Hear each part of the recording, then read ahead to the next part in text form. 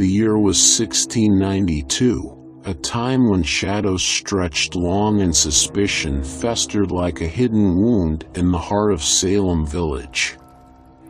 The late afternoon sun dipped below the jagged horizon, casting the village in a melancholic glow.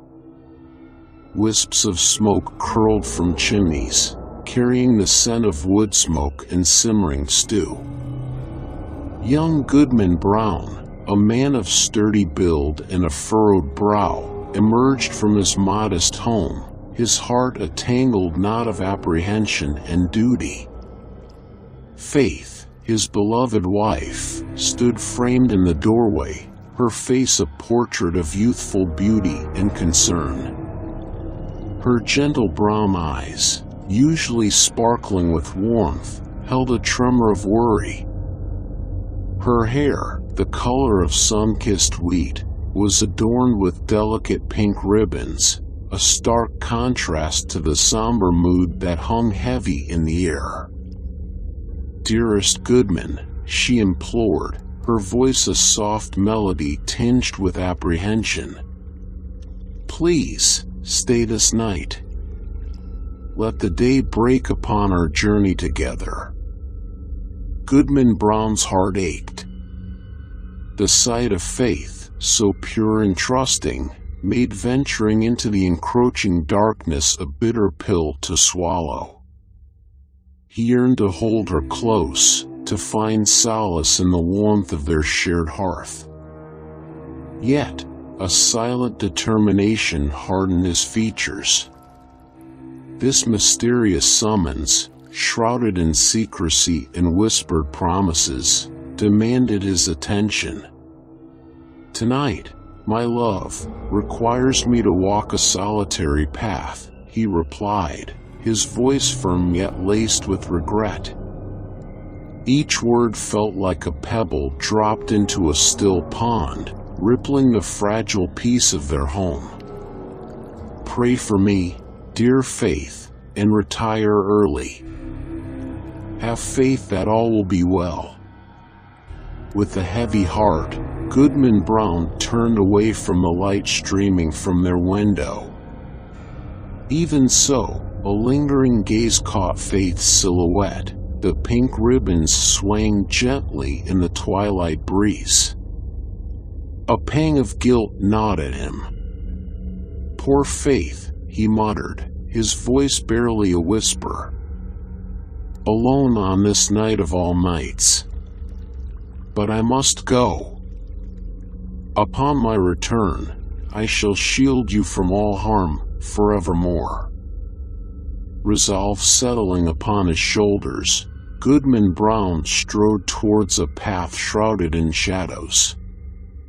The village, usually a place of bustling activity and familiar faces, seemed to hold its breath as he passed. Whispers followed him like phantoms, laced with curiosity and a hint of fear.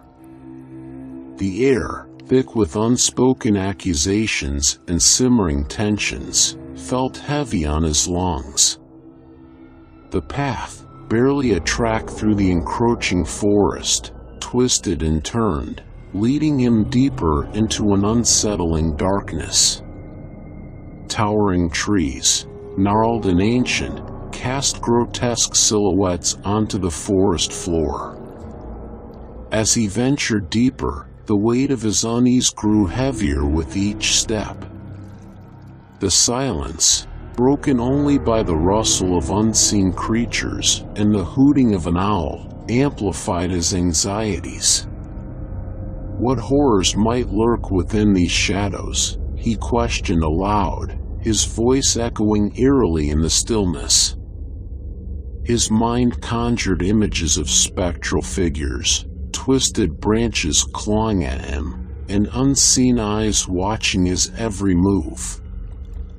He clutched the worn leather satchel at his side, a meager comfort against the vastness of the unknown. Suddenly, from the inky depths of the woods, a figure materialized.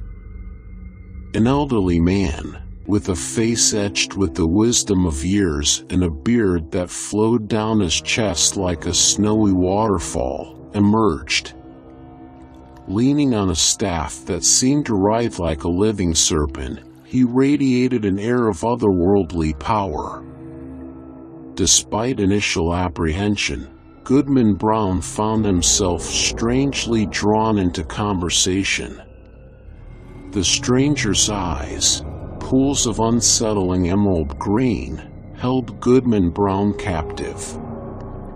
His voice, a low rumble that seemed to come from the depths of the earth itself, resonated with an unnerving familiarity.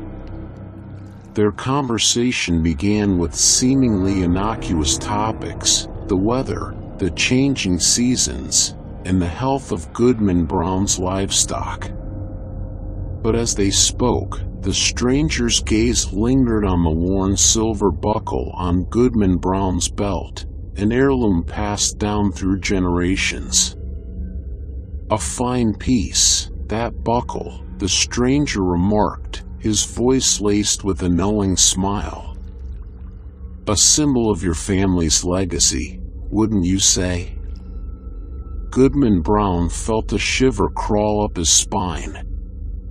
The buckle wasn't just an heirloom, it was rumored to hold a dark secret, a whisper of a pact made with the devil himself by one of his ancestors. The stranger's knowledge of such a personal detail sent a jolt of fear through him. Their discourse delved into profound territories, the strength of faith, the sanctity of family bonds, and the dark secrets that fester within the human heart. The stranger spoke of Goodman Brown's ancestors, whispering tales of clandestine encounters beneath the cloak of night, hinting at a darkness that ran deeper than Goodman Brown ever imagined. He spoke of accusations of witchcraft, of whispers of forbidden knowledge,